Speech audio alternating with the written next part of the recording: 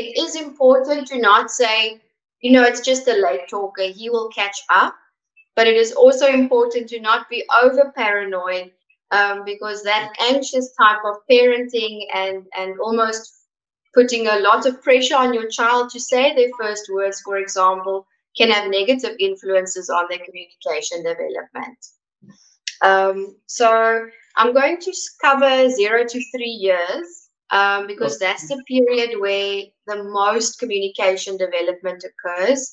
And after that, um, the milestones become a bit more um, broad.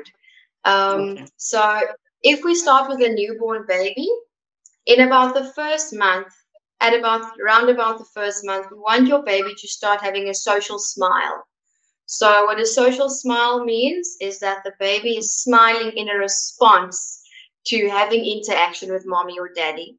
Often when your baby is just born, they will give you a big smile and parents will think, oh, look, he's smiling. Um, but that's, that's most likely just a reflex. But around about the first month, if you see, you talk to baby, you play with baby, you are physically close to baby and you see a smile, that means good. There's a social smile, and that's the first step of communication development.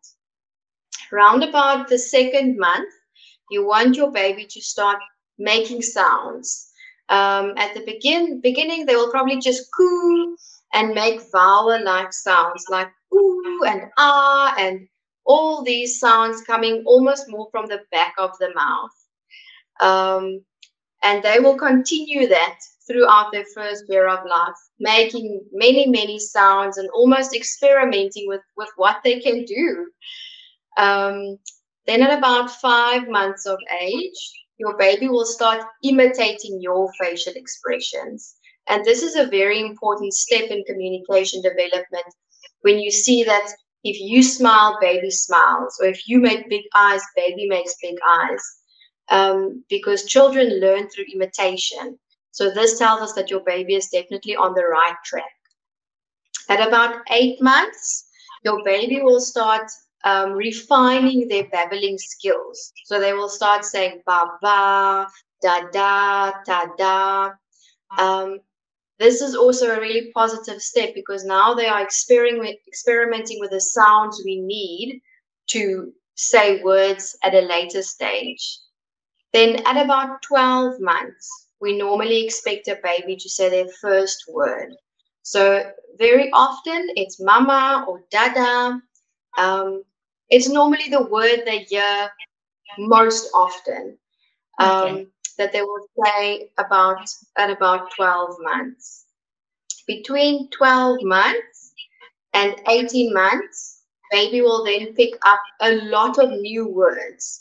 So they will start saying mama, tada, stop, give.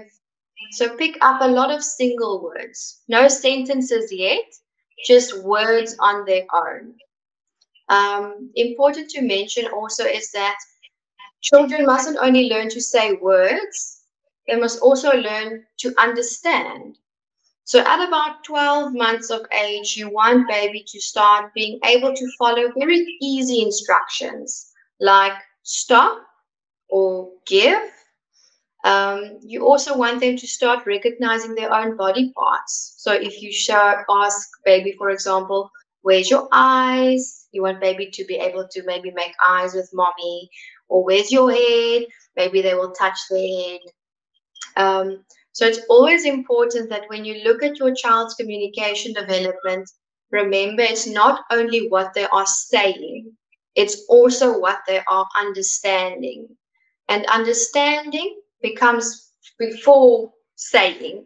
So a child must understand mm -hmm. first before they will be able to say words and sentences.